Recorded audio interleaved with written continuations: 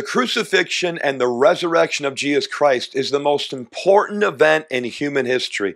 And the reason why is because everything that God has for mankind was accomplished through giving his son and Jesus dying on the cross and rising from the dead. And he did it all to save us from our sins and really to give us everything that God has for us. Yes, you heard it right. Everything that God has for us is through the giving of his son Jesus at the cross and his resurrection. And so I just encourage you today as we begin this video number 23, and this is the last video in this Life of Christ series.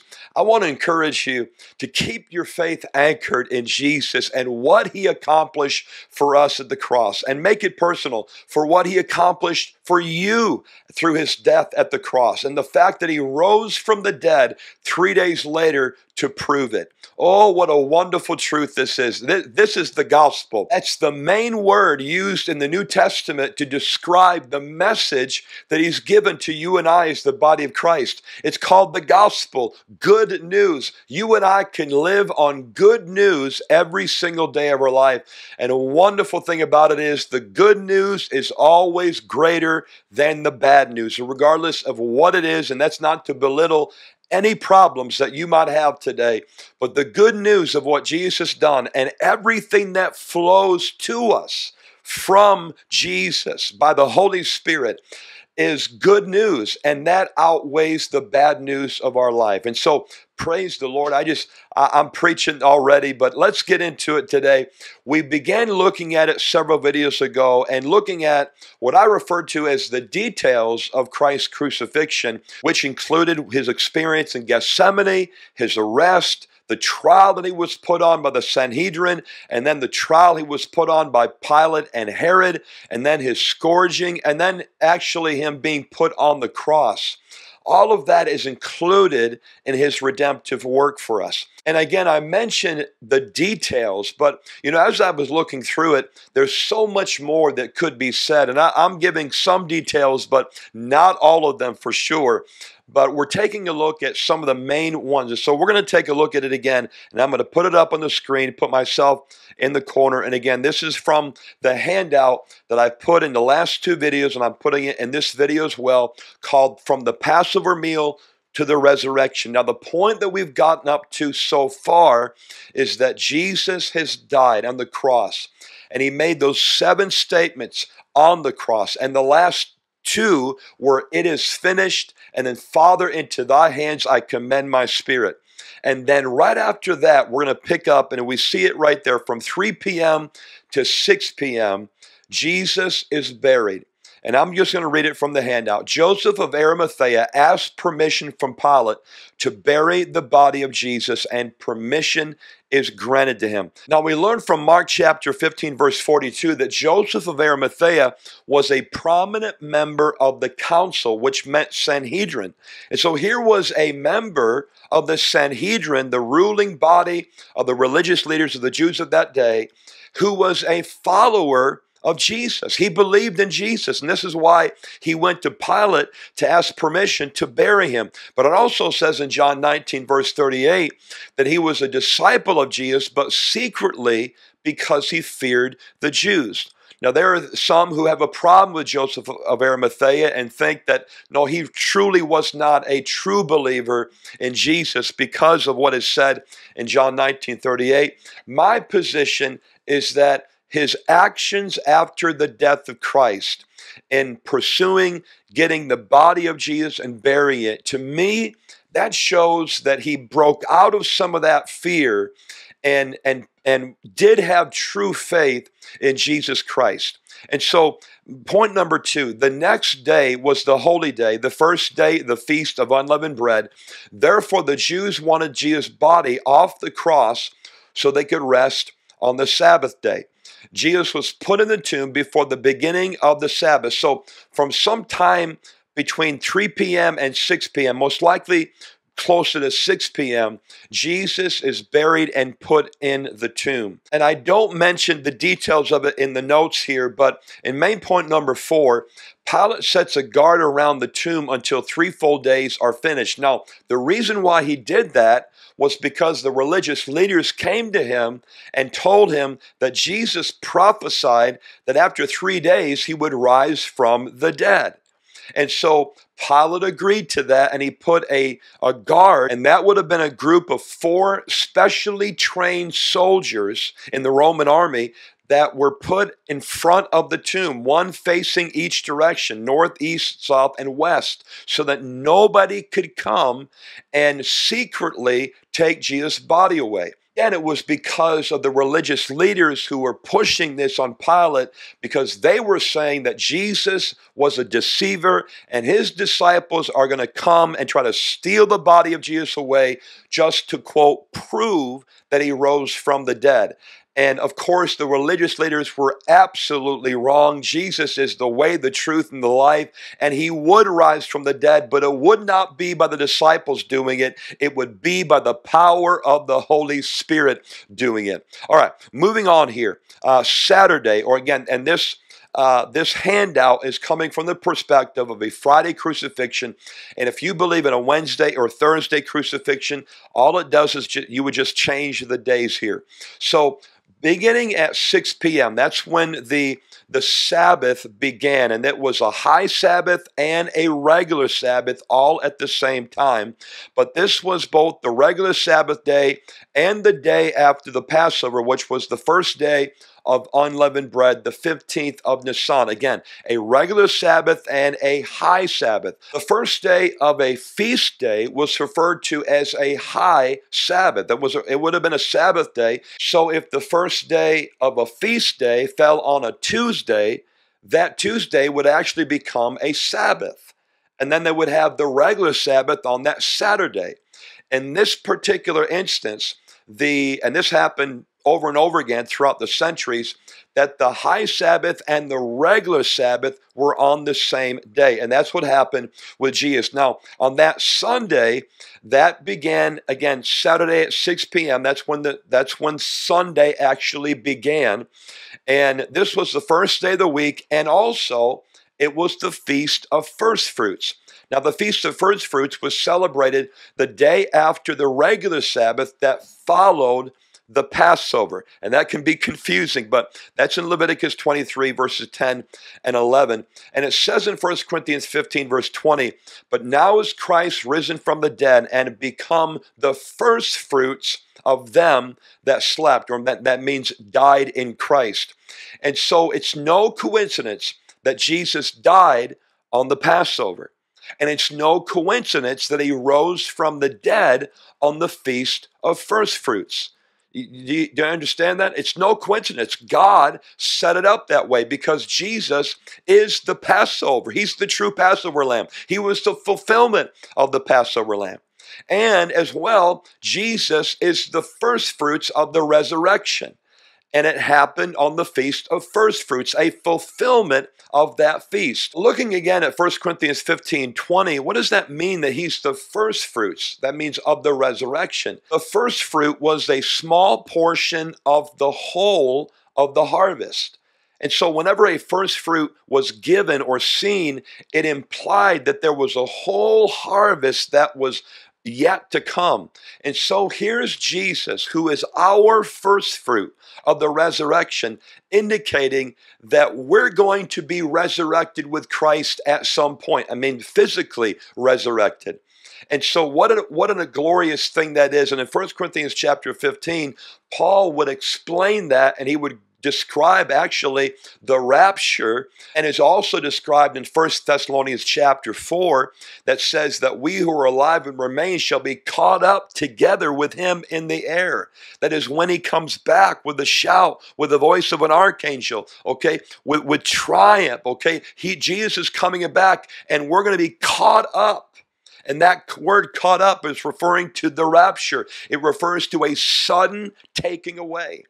And when that happens, you and I are going to experience a physical resurrection, just like Jesus, because he is our first fruit. And him rising from the dead means that there is a guaranteed promise that for all those who believe in Jesus, we're also going to physically rise from the dead one day and experience a resurrected body forever and ever. All right, from 5 a.m. to 7 a.m., that's on a Sunday, just before daybreak, Jesus rises from the dead. And I give the scriptures in which that is seen. Uh, point number one Mary Magdalene and Mary of Bethany were the first ones to know that Jesus was risen. And that's in Matthew chapter 28, 1 through 8. And Mary Magdalene was the first person whom Jesus appeared to following his resurrection. And so Mary Magdalene and Mary of Bethany were the first ones that to know that he was risen but Mary Magdalene was the first one that he appeared to. And hopefully that, that makes sense. So when Jesus appeared to Mary Magdalene, he had not yet ascended to the Father. Uh, therefore, Jesus told her not to embrace him. That's in John chapter 20 and verse 17. And then, as you can see in letter B, as Mary Magdalene and Mary of Bethany were on their way to tell the disciples that he had risen from the dead, Jesus met them saying, Rejoice. And then he allowed them to hold him by the feet and worship him.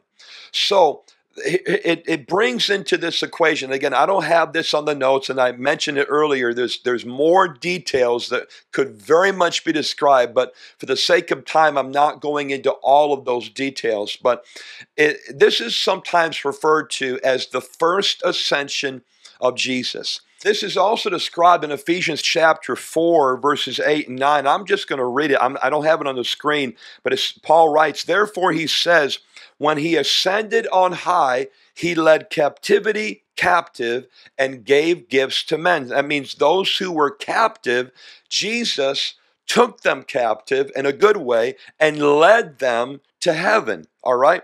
Verse 9. Now, this he ascended. What does it mean? But it, that he also first descended into the lower parts of the earth. In verse 10, he who descended is also the one who ascended far above all the heavens that he might fill all things.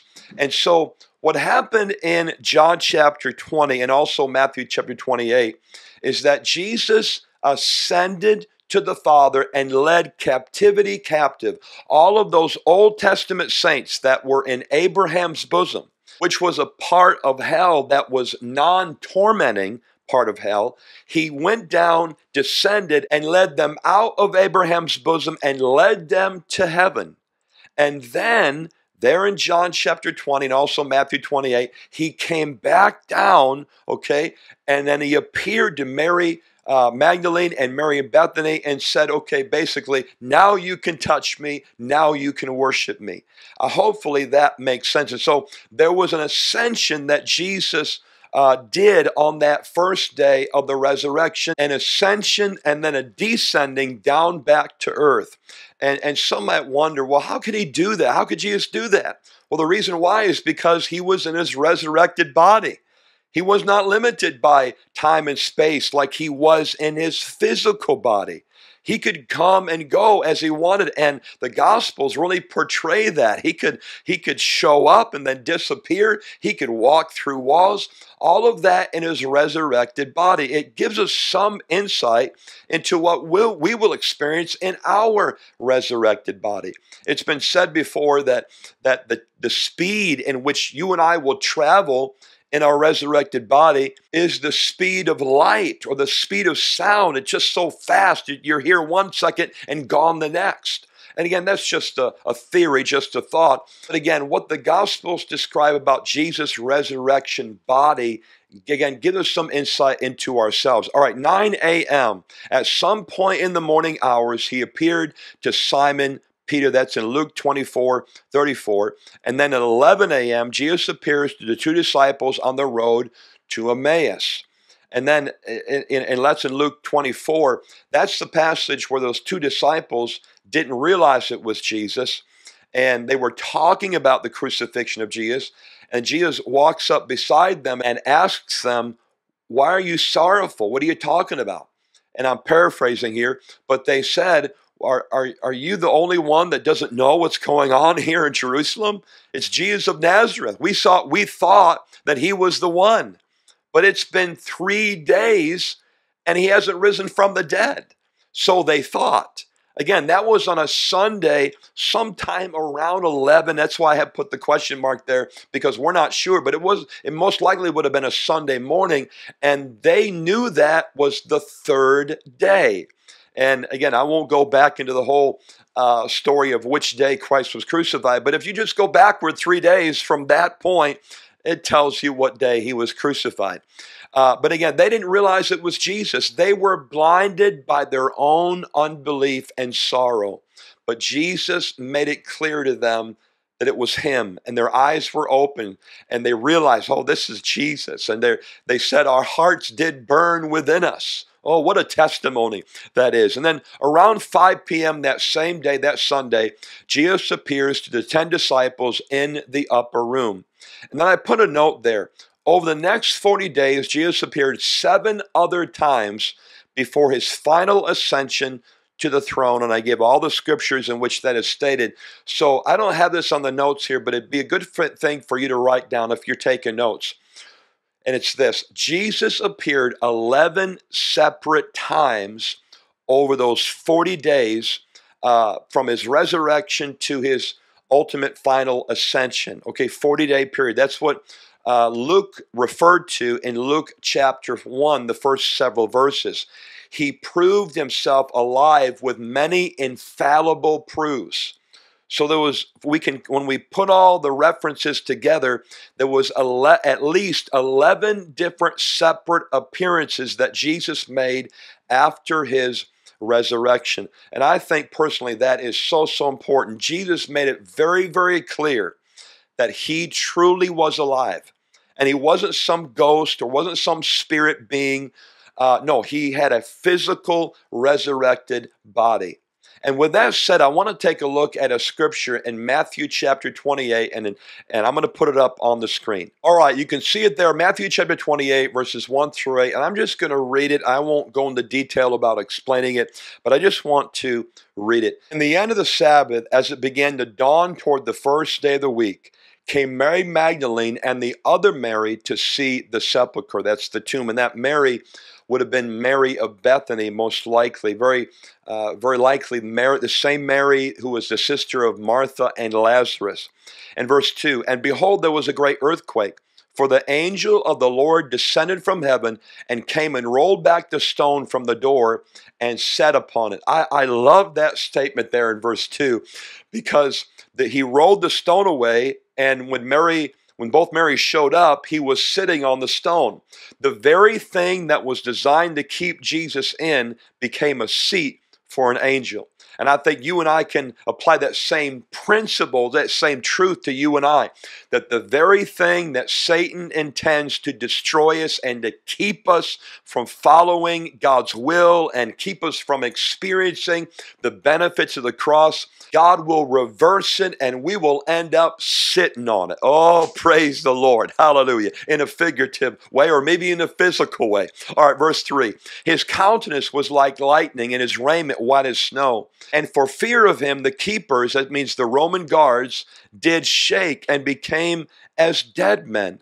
And the angel answered and said unto the women, Fear not ye, for I know that you seek Jesus, which was crucified. Notice that's a past tense, was crucified. He is not here.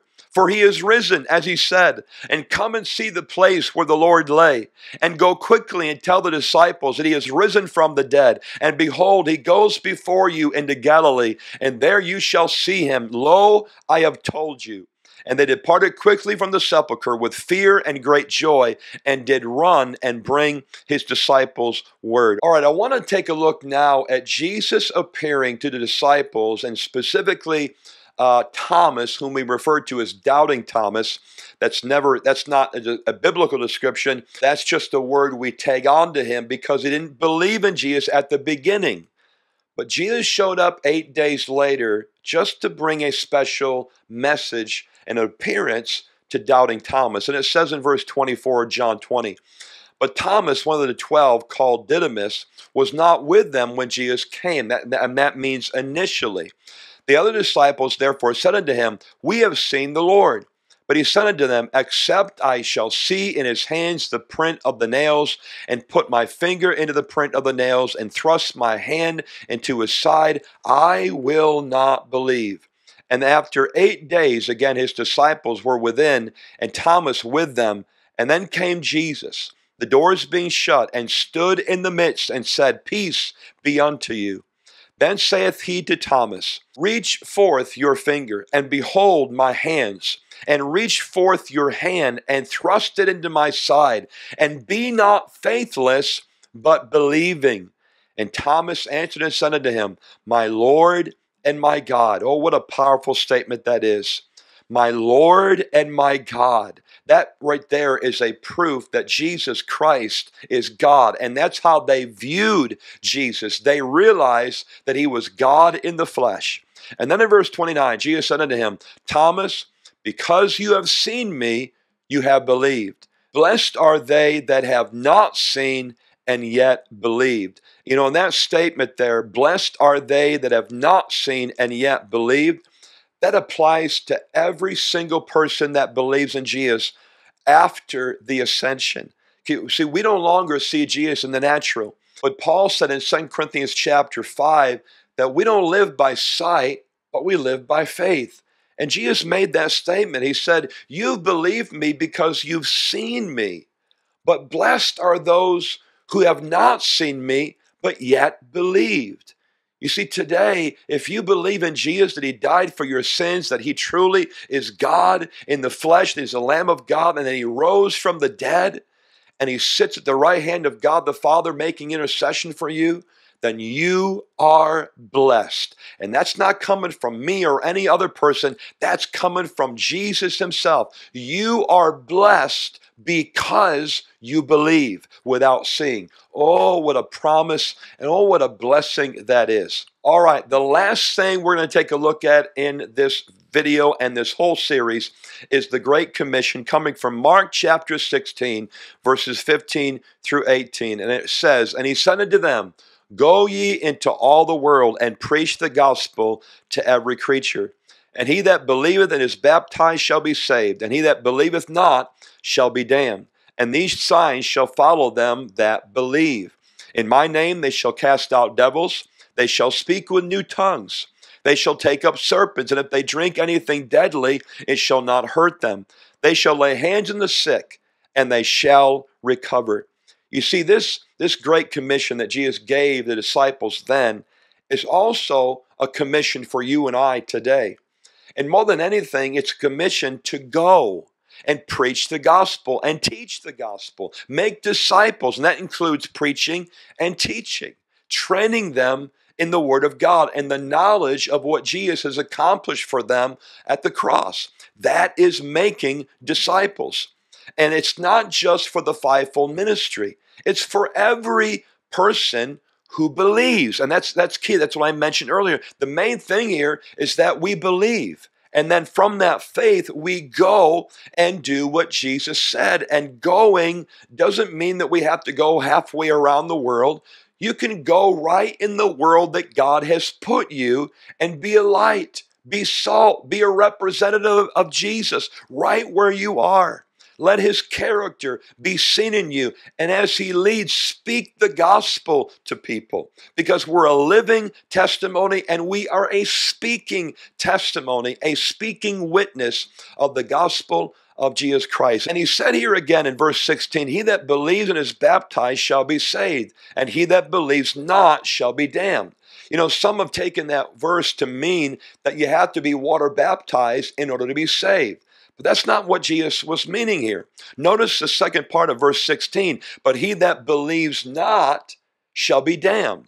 He didn't say, He that believes not and is not baptized shall be damned. He said, He that believes not shall be damned. You see, faith in Christ and who He is, that He died for our sins and He rose from the dead, that is the key to being born again.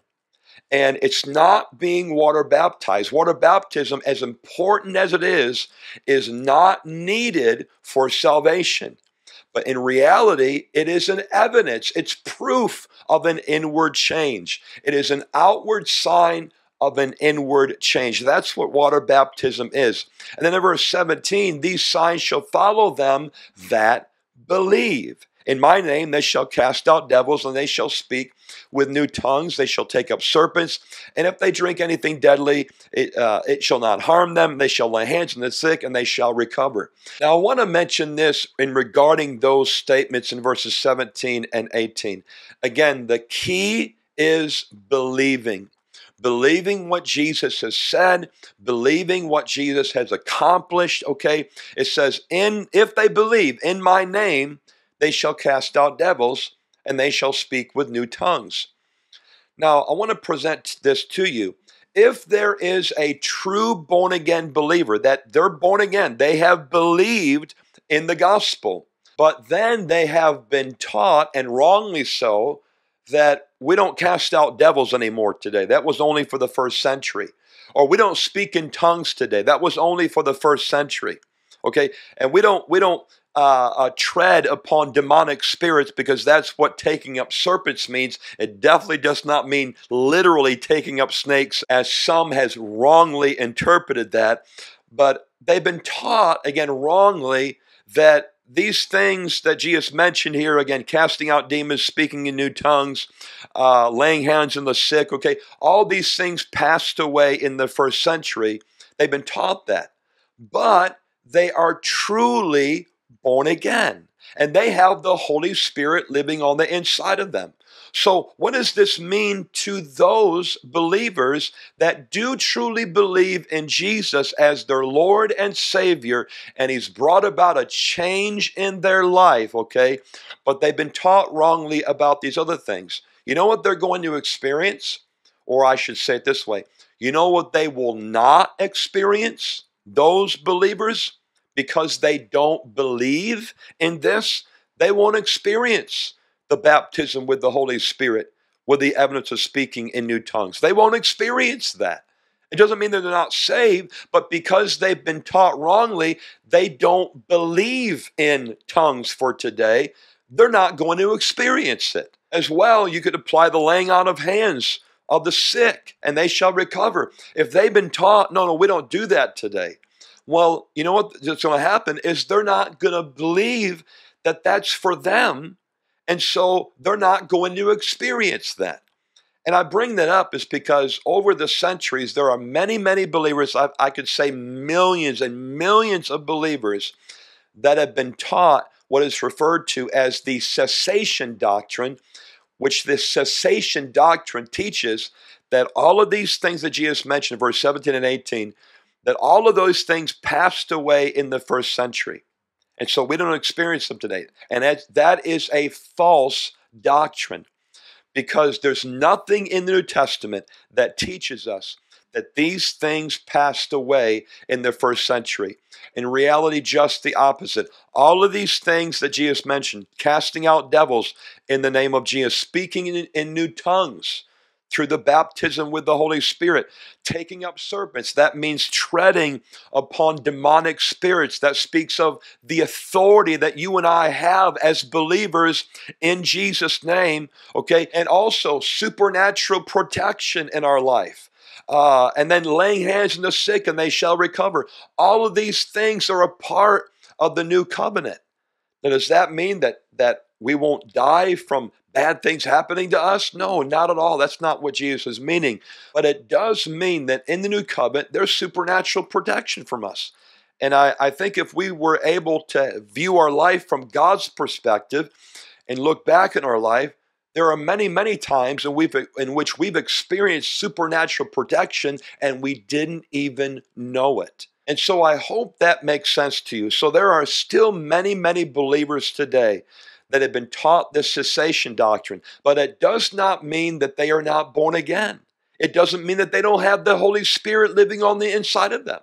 It doesn't mean that they can experience the, the fruit of the Spirit, the character of Jesus. Actually, in my life, I've known many believers who have not experienced the baptism with the Holy Spirit, with the evidence of speaking in other tongues, and have the fruit of the Spirit, and they are wonderful representatives of Jesus. But because of wrong teaching, they don't believe in these things, and so they don't experience these things. If you don't believe it, you won't experience it. And that is what I'm bringing forth. And hopefully, again, that makes sense.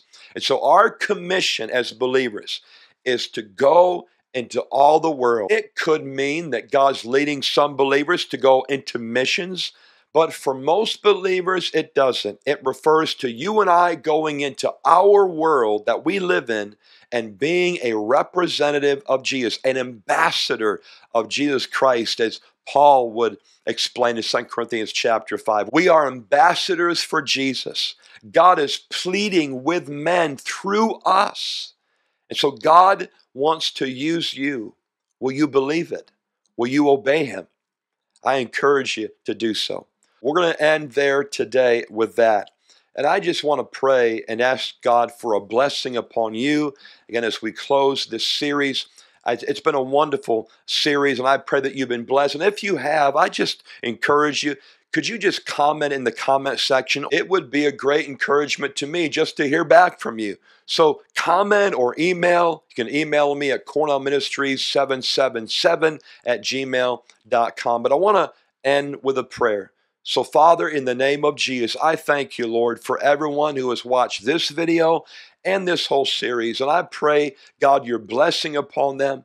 And Lord, as you have given us this great commission, help us to believe and obey and be a, an ambassador for you, Jesus, in, our, in the world that you've called us to. And Lord, let there be a harvest of souls as the seed of the gospel is sown in their heart and mind. And we believe it, Lord, today. And we thank you and praise you. In Jesus' name, amen and amen. Praise God. Well, I pray that you've been blessed. So God bless you and have a wonderful day in Jesus.